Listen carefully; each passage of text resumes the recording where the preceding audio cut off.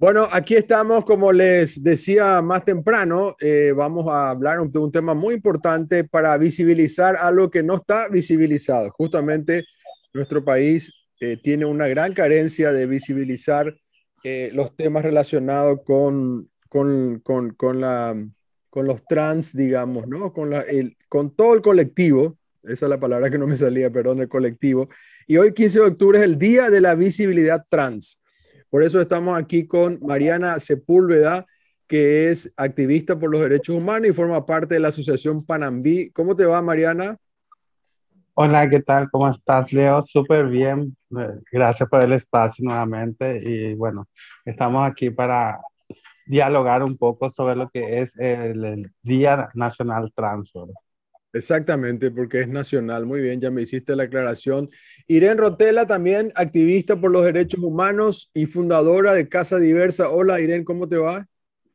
Hola, hola, ¿qué tal? Y bueno, muchísimas gracias por la invitación.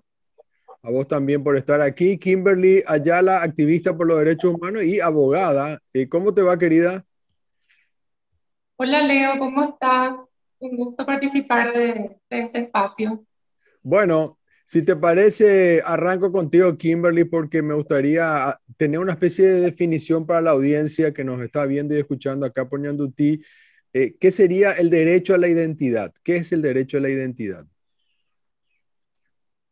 Toda persona tiene derecho a un nombre y a un apellido, a ser consignado en el Estado civil, en el registro civil, en este caso, el artículo 42 del Código Civil lo establece. ¿verdad? Y también el artículo 40 y 43 habla justamente que toda persona tiene derecho a cambiar de nombre invocando una justa causa, ¿verdad?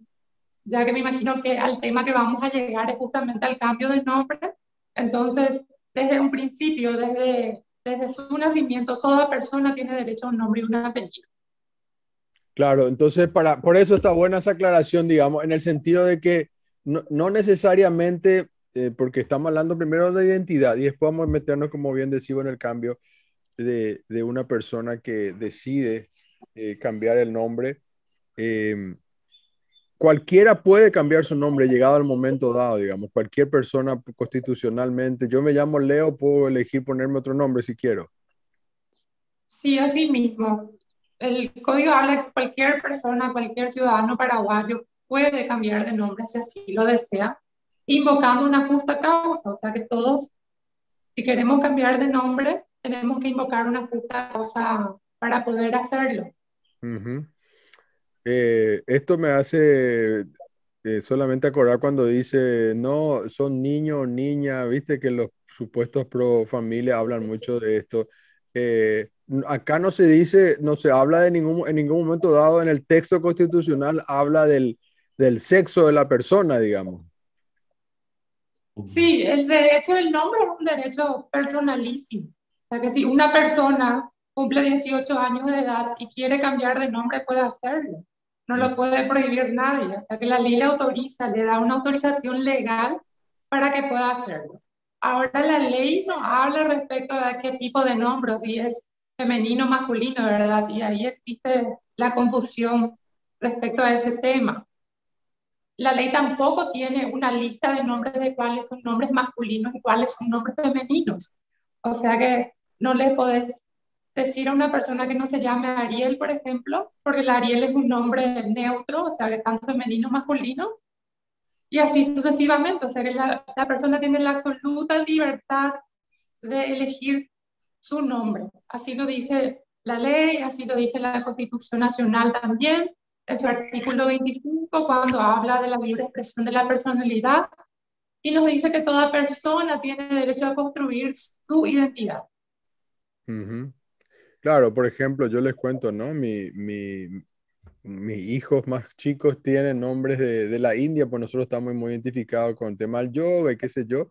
Y por ejemplo, Ananda se llama una de mis hijas y Ananda también en la India usan tanto varones como mujeres, digamos. Entonces, no, es como vos decís, podríamos decir que es como, como una cosa eh, medio neutra, digamos. A ver, eh, Mariana, ¿por qué el 15 de octubre es el Día de la Visibilidad Trans en nuestro país? ¿Por qué, por qué es el 15 de octubre? Bueno, una, eh, primeramente es como que eh, recordando eh, el momento en que la compañera Romina Vargas fue asesinada, ¿verdad? 15 de octubre de 2017. Entonces, de esa vez, en nombre de ella y de todas las compañeras asesinadas, de las 62 personas trans asesinadas desde 1989 eh, hasta, la, hasta nuestros tiempos, digamos, eh, y en ninguno de esos casos fueron resueltos y quedaron impunes.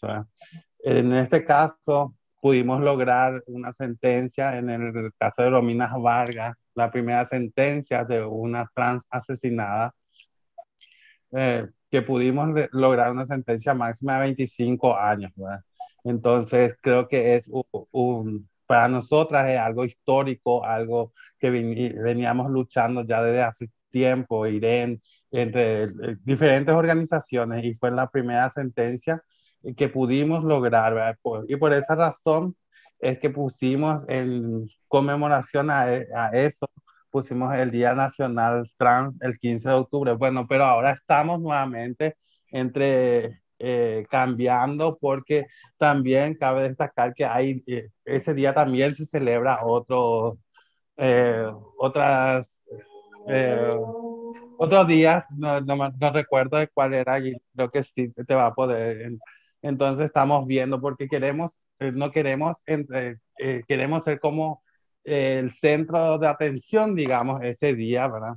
Eh, que podamos nosotras reivindicar nuestros derechos, reivindicar los derechos de, todas nuestras compañeras, también de los derechos de aquellas personas que fueron cegadas por aquellos hombres que las mataron por odio. Entonces, es por eso. Irene, eh, estaba recordando, Mariana, la cantidad de muertes, digamos, todas estas muertes, eh, ella mencionó la palabra odio, se, se, trata de odio, se trata de, ¿Por, qué son estas muertes? ¿Por qué no han ocurrido estas muertes? Bueno, si nos ponemos a pensar en la historia en Paraguay, hay más de 60 casos de homicidios, asesinatos de personas trans no esclarecidos por la justicia. En todos estos casos eh, que habíamos rescatado justamente con la organización Panambí, eh, la forma que mataron a las compañeras fueron eh, con ensañamiento, con brutalidad, con violencia. Entonces, esto es lo que nosotros llamamos los crímenes de odio, ¿verdad?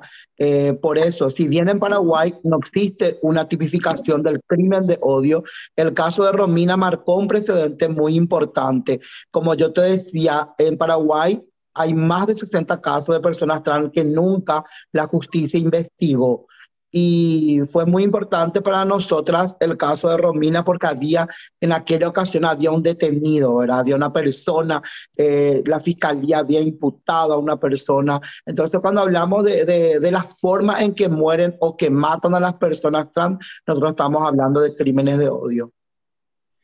Kimberly, eh, vos como abogada, digamos, eh, no, no, no, sé si alguno de estos casos lo, lo has tomado, pero como dicen que no se ha resuelto y que la policía o, la fiscalía no investiga, eh, se puede determinar realmente, para mí queda muy claro que es por eso, ¿no? Pero yo quiero nomás hacerlo un poco más didáctico. Queda, que, queda claro que eh, el crimen ocurre por ser trans, por, por eso es el crimen, o sea, por, por eso la terminan matando a estas personas. Sí, efectivamente. En realidad lo que la fiscalía, ese es el papel de la fiscalía, investigar el porqué del homicidio, ¿verdad? Y la mayoría de los homicidios a personas trans son homicidios dolosos, o sea que el victimario tuvo la intención de matarle a esa persona. Y cuando hablamos de, eh, de muerte dolosa, generalmente en el, en el Código Penal no se establecen los crímenes de odio, pero sí se establecen los gravámenes, ¿verdad? Cuanto más grave la forma de matar, o sea que se castiga mucho la forma de matar. Y generalmente la manera de matar que tienen los, los victimarios para con las, con las personas trans es muy violenta. O sea que siempre algunas terminaron quemadas, algunas, eh, digamos, con cuchillos, o sea, con arma blanca, o sea que la forma, la violencia que se ejerce hacia las personas trans es muy, es muy alta, es muy violenta. Entonces, por eso hablamos siempre de homicidio doloso y es calculado encima, eh, también en las redes sociales, eh, algunos, algunos reportes de prensa también existen testimonios del, de los agresores, o sea, que, de los asesinos donde dicen que, que todas las personas trans deberían de morir. O sea que el Código Penal necesita de, de una reglamentación en este caso donde figure crímenes de odio, ¿verdad? Que puedan ser castigados de forma más severa. Eh, ¿Vos crees que, eh, yo no sabía, eso no existe el crimen de odio, me parece fundamental ese cambio, eh, porque no solamente ocurre con, con, con, las chicas trans, digamos, pero estas investigaciones que no se hacen tienen un motivo, tienen que ver con la falta de criterio de la, de la fiscalía o, o, o le dan menos importancia, por decir de una manera. Bueno, yo no, en, manera general no lo puedo decir porque cada caso es muy particular, ¿verdad? Pero cuando hablamos de asesinatos, la fiscalía lo debe de investigar de oficio, o sea que no necesita que nadie esté dando seguimiento al caso, o sea que ellos tienen seis meses para investigar y deben de acusar. O sea que lo que acá no se hace es que la fiscalía no toma una, digamos así, una postura respecto a estos temas y no investiga a cabalidad, a profundidad los asesinatos, ¿verdad? Y como existe un tiempo prudencial para acusar, que son seis meses generalmente, que dura la etapa preparatoria, se va perdiendo, van prescribiendo, ¿verdad?, las oportunidades para poder llevar adelante estos juicios. Entonces existe una falta de seguimiento, una falta de responsabilidad y de compromiso por parte de la Fiscalía para investigar estos casos estos crímenes de odio y estos asesinatos. Mariana, eh, eh, en estos asesinatos siempre se dan en caso eh, relacionado de alguna manera con la prostitución, digamos. ¿Por qué una mujer trans termina en la calle, digamos, como prostituta, por decirlo? Y siempre terminamos siendo trabajadoras sexuales porque es a que el Estado nos impulsa. O sea, prácticamente el único medio de ingreso para nosotras es el trabajo sexual.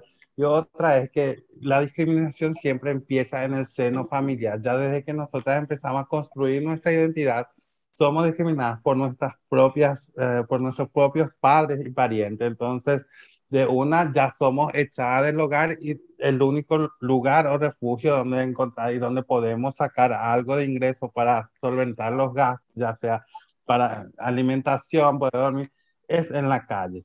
Entonces también cabe destacar que cuando nosotras em, empezamos nuestra transición, somos echadas de diferentes lugares. Yo tengo, yo misma fui, digamos, expulsada del ámbito educativo cuando tuve 16 años por el tema de mi transición en esa época. Entonces fui expulsada del el del, del ámbito educativo, entonces, ¿qué más me quedó? Ejercer el trabajo sexual. Y bueno, y con eso pude sobrevivir un tiempo hasta que empecé a hacer mi, voluntariado en organizaciones. Pero te digo, eh, te doy el ejemplo, ¿verdad? Que fue mi ejemplo mismo, entonces, ¿qué más me espera? Por suerte, yo sí familia que sí me acogía igual, entonces nunca sufrí discriminación en el seno familiar, pero sí fuimos una familia, somos una familia muy humilde. Entonces eh, yo tenía que ejercer el trabajo sexual de una forma para poder aportar un poco de, dinero a, a, mi casa. ¿verdad? Entonces, de ahí empieza, entonces el Estado mismo nos niega el derecho a la educación y sin educación tampoco accedemos a un empleo, aunque ahora eh, teniendo educación igual tengo miles de compañeras que no acceden a, una, a un trabajo por el tema de su identidad. ¿verdad? Entonces, es, por eso muchas veces nosotros decimos ley, eh, cupo laboral trans, porque eh, vivimos y estamos en, una, en, un país muy discriminativo y también religioso, por más que estamos supuestamente en un país laico, eh, eso no es la realidad. El país se deja llevar por lo que es la religión, y más la religión católica. ¿verdad? Sí, yo, yo uso la palabra, usé la palabra prostituta a propósito, ¿no? Porque está bien, es trabajadora eh, sexual, pero es como cuando dicen a veces abuso y yo digo, no, es una violación, digamos, o sea, es como para poner bien las, las cosas en su, en su lugar nomás, pero está bien usar los términos que tienen que ser. Eh, Irene, eh, justamente sobre este mismo punto, eh, al no poder muchas veces las chicas tener opción de trabajo, eh, terminan siendo trabajadoras sexuales, digamos. O sea, eso es lo que yo siento, ¿verdad? O sea, como que no te vas a trabajar y la gente o se te burla, probablemente se te ríe, te discrimina, eh, etcétera. Entonces, la limitación de, de, trabajar, digamos, en otro lugar no, no, no, no es como le pasa al resto de las mujeres, digamos, que bueno, puede ser que trabaje o puede ser que no trabaje. En el caso de ustedes es como que le acorralan y le dejan algunas casi sin opción. Sí, la verdad que si hablamos del, de la forma en que sobrevivimos las personas trans, en su gran mayoría tenemos que hablar que el 99% ejerce el trabajo sexual o ejerció el trabajo sexual como forma de sobrevivir también, ¿verdad? Si bien en Paraguay tenemos que reconocer en el mundo, eh, para, para una mujer sí es muy difícil también conseguir trabajo, imagínate, para una persona trans, por discriminación, por vergüenza, por, por, por no tener también la capacidad, porque hay que entender esto que Mariana decía, si nosotras eh, nos expulsan de nuestras casas a los 12, 13 años o salimos huyendo de ese círculo de violencia, terminamos sin educación, sin familia, sin protección del Estado y el único camino que tenés es estar en la calle. A los 13, 14, 15, hasta los 17 años está contemplado que eso es abuso sexual. Entonces tenemos que hablar en, estas dos cosas, que a veces nos decimos, reivindicamos el trabajo sexual, pero no en las formas en las que ejercemos nosotras. Si nosotras vamos a eh, decir, yo reivindico el trabajo sexual, deberían haber condiciones mínimas, ¿verdad? Nosotros somos, eh, eh, somos víctimas de la violencia policial. En todos los informes que vos tenés en Paraguay, podés notar de que hay, una, hay un alto índice de violencia de parte de la policía. ¿Verdad? Entonces es muy difícil. Y lastimosamente, como te decía, si uno no tiene la, la formación, no tiene la educación, no tiene la preparación, ¿cómo puede pretender trabajar? Eh, honestamente te digo que en Paraguay a las personas trans ni para el trabajo doméstico se le quiere eh, contratar. Y con eso te digo que es muy difícil la cuestión del empleo en las personas trans.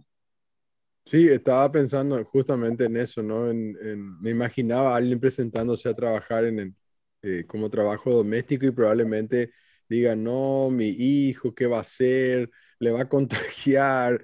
Eh, ¿Que va a ser un mal ejemplo? Todas esas, eh, digamos, estas discriminaciones, ¿no? Preconceptuales que tenemos en la cabeza. Entonces, Kimberly, en tu caso se dio, yo recuerdo que te hice una nota porque vos te recibiste abogada, digamos, fuiste un caso de éxito en ese sentido, ¿verdad? Pudiste superar y, llegaste a, una meta eh, que, que, no todas las chicas pueden llegar. Eh, ¿cómo, ves esta situación que estábamos hablando, digamos, de, de, por qué no, no, no, no, le es fácil, digamos, eh, poder adquirir o seguir una profesión? Bueno, digamos también que el estado económico de las chicas trans muy precario. O sea que yo creo que la gran mayoría de las chicas y de las personas trans eh, no tienen las condiciones económicas para poder solventar, digamos, por ejemplo, los estudios universitarios. Mi realidad fue distinta porque gracias a mis padres pude hacerlo, ¿verdad? En todo momento estuvieron a mi lado. Entonces, por ese motivo pude culminar mis estudios universitarios pero también tuve que retrasar mi transición, o sea que yo recién en la universidad empecé a transicionar y empecé a, a ir como persona trans realmente en la universidad, cuando yo en realidad ya quería transicionar en el colegio y en el colegio no me permitieron, o sea que en el colegio tenían totalmente el derecho a la identidad.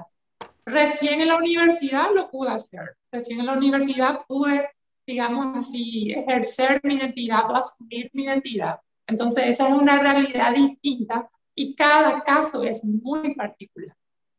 digamos que el 99% de las personas trans no pueden acceder realmente a los estudios universitarios por cuestiones económicas, de estigma, de discriminación y por un montón de otros factores que pueden existir que le imposibilitan llegar a, a poder estudiar. Creo, creo que queda muy claro por qué, por qué hay que hablar de este tema, ¿no? Por qué hay que visibilizar este tema. Me parece que queda muy claro con esta primera parte del programa. Permítame hacer una brevísima pausa y ya volvemos.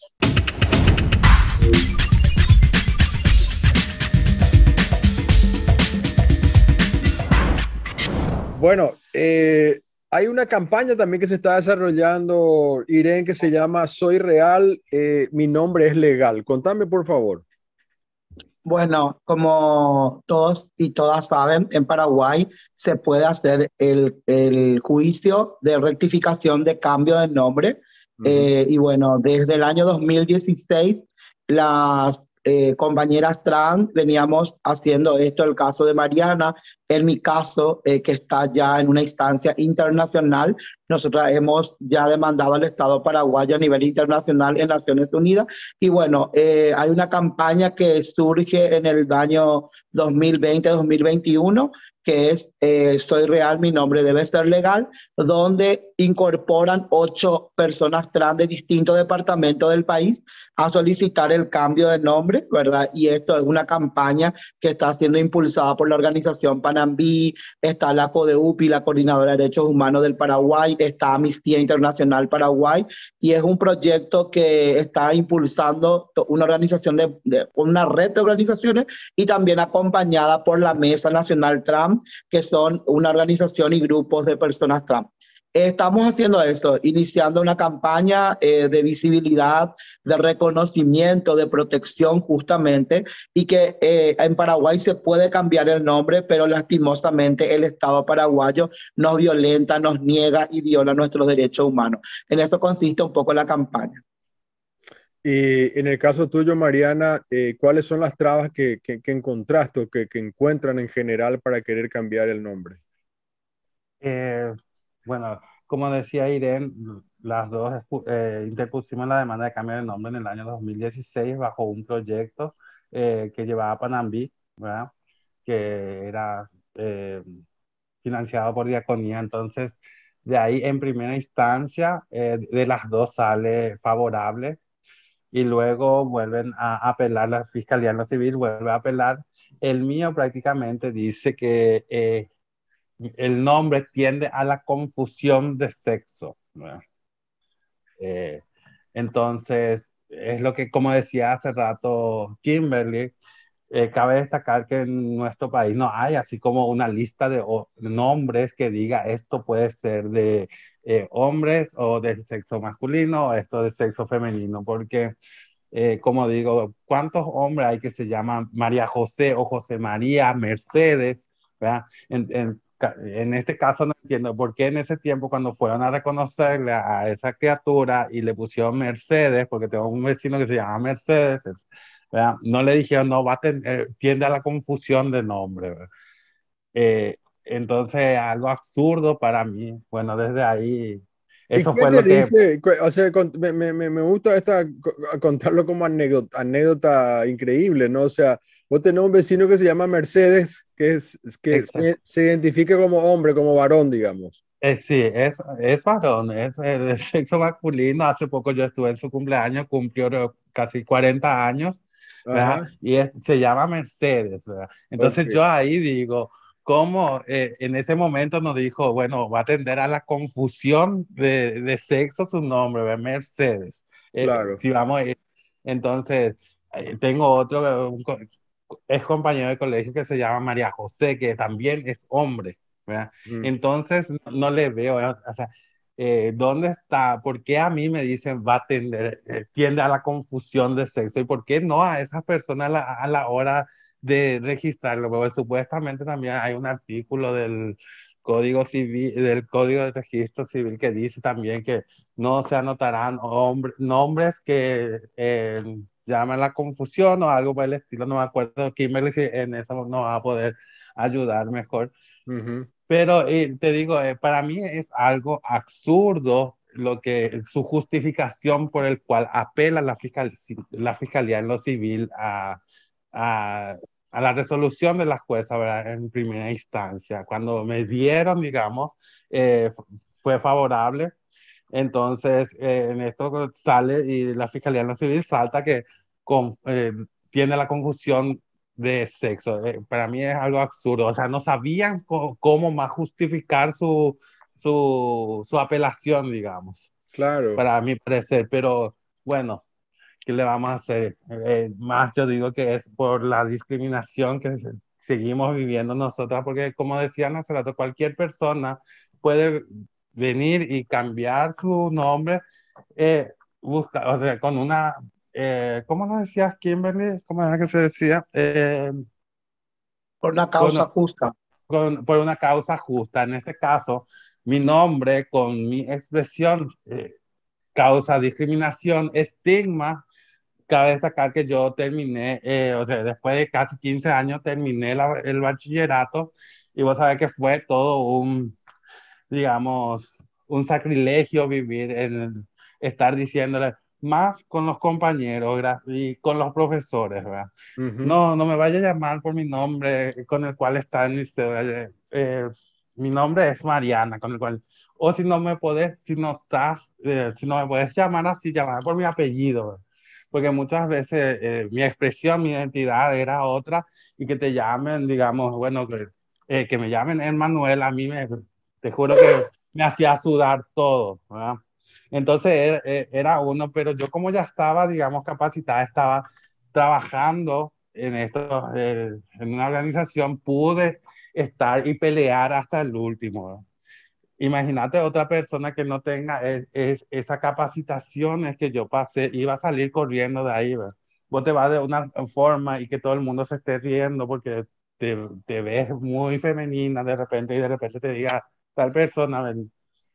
Y en muchos casos los profesores eran lo que más, ¿verdad?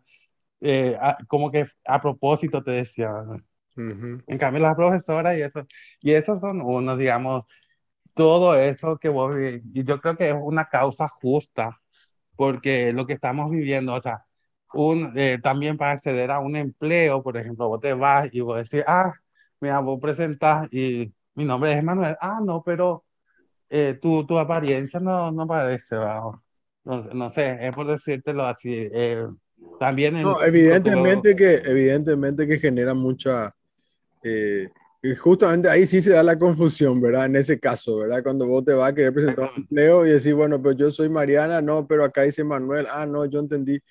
Eh, Kimberly, eh, vuelvo contigo por esto de la confusión, no te estoy viendo bien ahí.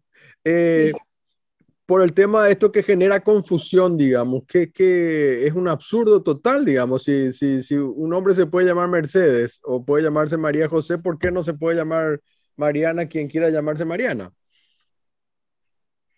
Justamente hay un artículo del Código Civil y que es justamente de ese artículo el que se vale la fiscalía para poder negar el derecho al cambio de nombre, ¿verdad? Porque ese artículo justamente menciona que no se inscribirán en el registro civil nombres ridículos o que insinúen confusión en cuanto al sexo, dice, ¿verdad? Eso es lo que dice el código. Y de, ese artículo generalmente, y de ese, y ese único artículo generalmente la Fiscalía se vale para poder negar el derecho al cambio de nombre a las personas trans.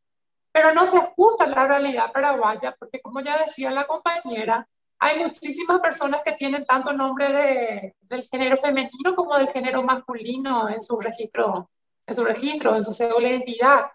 O sea que lo que acá evidentemente se da es una situación de discriminación y una negación de derechos hacia la población trans.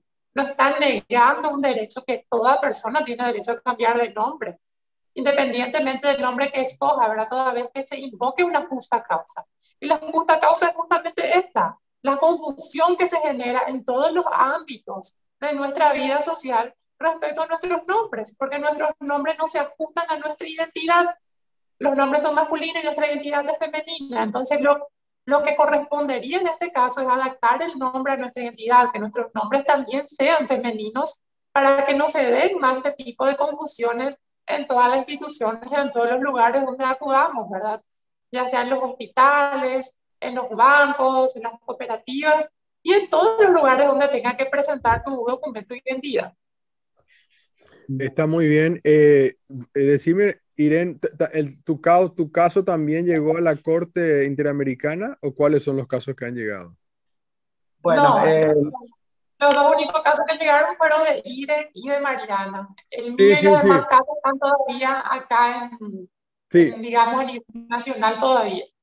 Sí, no, le, le, estaba preguntando a Irene justamente por eso. Eh, entonces son en los dos casos de ustedes, es decir, en el caso de ustedes, un juez o jueza dijo sí, se puede llamar Irene y se puede llamar Mariana, y después la fiscalía es la que dice no se puede, alegando esta confusión ridícula. Entonces la causa está llegando a estrados internacionales.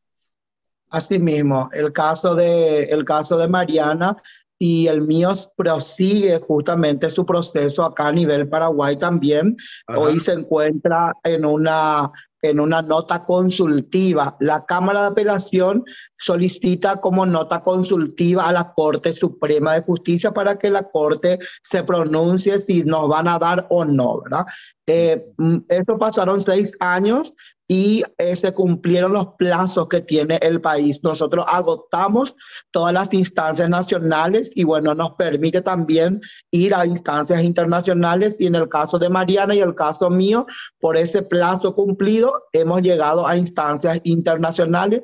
Nosotros en marzo de este año denunciamos al Estado paraguayo por justamente la violación de los derechos humanos en, en cuanto a nuestra identidad, en cuanto a nuestros nombres, y por todo el daño que nos ha causado, ¿verdad? En estos seis años. Es muchísimo tiempo, así como las compañeras están mencionando. Eh, más allá de todo, yo creo, Leo, que la gente tiene que entender esto. Cuando nacemos, son nuestros padres los que nos dan ese nombre, ¿verdad? A veces nos dan porque, no sé, se le gusta un futbolista o le gusta una, no sé, el nombre de un santo. Entonces te ponían esos nombres que tienden a, a, a veces a ridiculizar también, ¿verdad? Porque a veces hay nombres que son muy, muy violentos también para cuando uno crece. Y en este sentido, eh, particularmente, a mí mis padres me dieron ese nombre, pero cuando yo tengo 18 años, por libre decisión, siendo autónoma y construyendo mi identidad basándome en el artículo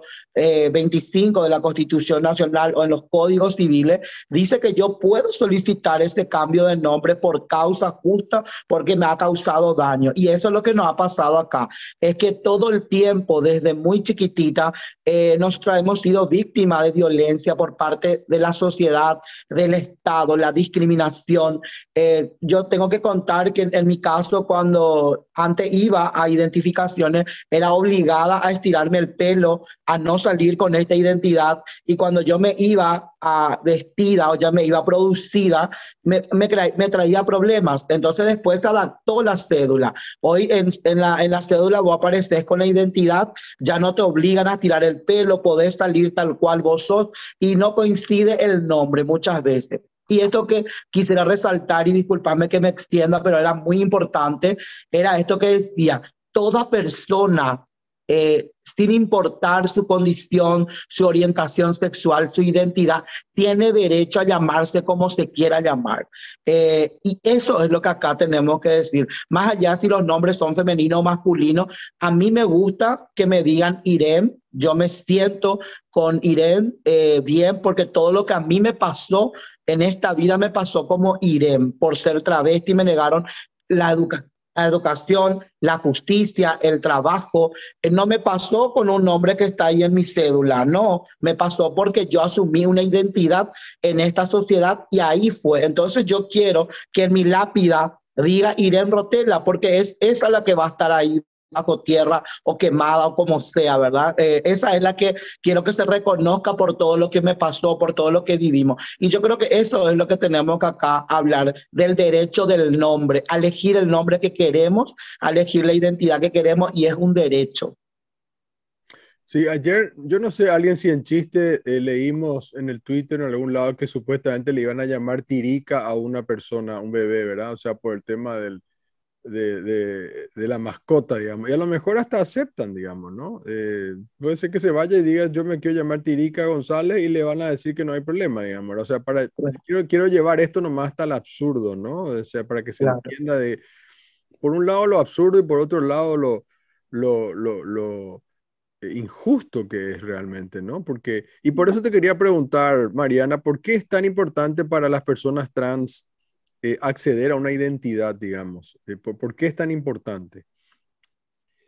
Eh, más que nada para tener una vida digna, para, disminuir, digamos, porque no, con esto no va a acabar el estigma y la discriminación, pero va a ser como una herramienta, vamos a tener por lo menos cómo pelear y decir mi nombre es esto y vamos a tener como más coraje, ya no vamos a sufrir eso de, eh, de tener miedo a ir a estudiar y presentar. Y bueno, mi nombre, pues, porque cabe destacar que solamente el nombre cambia, no solamente la parte del sexo queda igual, queda como, eh, no va a ser femenino, solamente es cambio de nombre, cambio, cabe destacar eso. Entonces, pero por lo menos eh, no te van a llamar, o sea, no te vas a sentir como incómoda en el momento que te llamen o de repente en el momento de presentarte para un trabajo va a ser como más cómodo para una. La estigma y discriminación creo que va a disminuir para nosotras y nuestra, eh, nuestra autoestima creo que va a ser un poco más alto y vamos a poder ir con la cabeza en alta sin temor a que seamos rechazadas de alguna u otra forma en donde nos presentemos. Y eso es, Leo. Está muy bien. Eh, eh, Kimberly, decime, eh, ¿cómo está el tema de las personas que quieren cambiar hoy de nombre, digamos? ¿Cuál es la situación actual?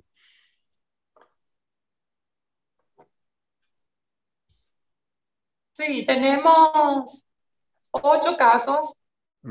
Diez son con los casos de Irene y Mariana ocho casos lo que estamos acá a nivel nacional. Eh, hay tres casos en Ciudad del Este, hay un caso en Coronel Oviedo, hay dos casos en, en Pedro Juan Caballero y otros tres casos creo que en Central Asunción más o menos, ¿verdad? Esas son las localidades donde se solicitó el cambio de nombre de personas trans. Y es muy importante recalcar que el cambio de nombre no solo lo pueden hacer las personas trans, porque estamos hablando mucho de las personas trans, pero puede hacerlo cualquier persona, ¿verdad? Eso creo que es el mensaje que tenemos que dar siempre. O sea que esto es un invento de las personas trans, esto lo estipula el Código Civil, cualquier persona puede cambiar de nombre y se le da a las personas cisgénero heterosexuales sin ningún problema. Y el problema está que a las personas transexuales se les niega ese derecho. Ahí está el problema y ese es nuestro reclamo. Y el estado actual de, estos juicios, justamente en Ciudad del Este, ya se encuentra en etapa de sentencia. Los tres casos que tenemos en Ciudad del Este en etapa de sentencia, ya, ya se va a decidir finalmente en primera instancia si te van a dar o no. Eh, los de Asunción están todavía en etapa investigativa de reunión de pruebas. En Pedro Juan creo que en la etapa inicial todavía. O sea que estamos en un proceso que esperemos que llegue a su fin, ¿verdad? Que podamos tener una respuesta favorable por parte del juzgado de primera instancia, en este caso, con respecto a la notificación de nuestros nombres. Sí, para ir cerrando, quería preguntarle a Irene, en general, ¿qué, ¿cuáles son las políticas públicas que vos considerás que deberían existir para las personas trans? Eh, porque estamos muy atrasados, ¿no? Sí, eh, en verdad creo que la política, que todas las políticas públicas son importantes, pero me parece muy importante eh, entender, ¿verdad?, que tenemos que prepararnos y desarrollarnos como seres humanos. Necesitamos una política educativa que, realmente nos permita desarrollarnos como seres humanos, formarnos como seres humanos y poder llegar a, cumplir también y tener una estabilidad ya sea emocional, que nos permita también desarrollarnos lo laboral. Es por ello que es muy importante la educación. Eh, hay, que, hay que tener una educación verdaderamente inclusiva que nos permita a nosotros, las personas trans, también acceder a ello. Eh, además de la salud, ¿verdad? En Paraguay eh, existe demasiado eh, casos de suicidio, que no se habla los casos de suicidio de personas trans, los, justamente la, la situación de salud mental de las personas trans, por toda esta situación de violencia que, le tiene, que tiene que vivir desde muy chica hasta su, sus últimos días. Es muy importante el tema de la salud, era una salud de manera integral que te permita justamente vivir una, una mejor calidad de vida. Eh, el derecho a la tierra, a la vivienda, a un trabajo, es muy importante que eso la política también pueda, pueda ir mejorando, ¿verdad? Entonces, yo creo que todas las políticas eh, a nivel país tienen que ser para todas las personas, sin importar eh, si vos sos travesti, si no sos travesti, si sos trans. Eh, esto pasa mucho con, acá tenemos que hablar que en Paraguay hay una, una clara, una alta discriminación, ya seas indígena, seas campesina, seas mujer, Imagínate ser trans en Paraguay, entonces es muy difícil. Y hay que trabajar por eso, una política verdaderamente inclusiva que no discrimine absolutamente a nadie, que nos vea como personas, como seres humanos, que tenemos derecho a eso, ¿verdad? Entonces hay que tener todas las políticas para todas las personas. Si me permitís, Leo, también eh, quisiera mencionar, ¿verdad?, de que si bien nosotras en Paraguay tomamos el 15 de octubre como una fecha emblemática eh, del caso de Romina Vargas, hoy en día, eh, a través de la Mesa Nacional Trump, estamos hablando y justamente el lunes 17 vamos a presentar una nota al presidente del Congreso elevando y solicitando que se reconozca el 17 de octubre como el Día Nacional del Reconocimiento, la protección y promoción de los derechos de las personas trans. Esto vamos a estar metiendo en el mes de octubre y queremos cambiar la fecha. Si bien en la historia de la comunidad trans estamos hablando de la época de la dictadura, también hablamos de la de, después de la dictadura y bueno, un caso que va a quedar en la historia es el 15 de octubre como un caso donde una persona abiertamente dijo, "Yo la mato a las travestis y lo voy a seguir matando por odio y porque Dios no las no las acepta."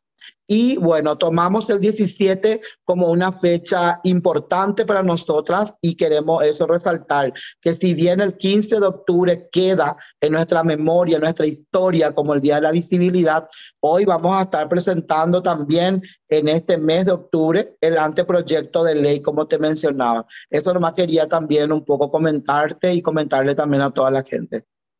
Muchísimas gracias. No, importante lo que, lo que acabas de resaltar y duro también. Bueno, chicas, le agradezco como siempre su tiempo eh, para Madden Paraguay. Muchas gracias, eh, Kimberly, Mariana y también a Irene.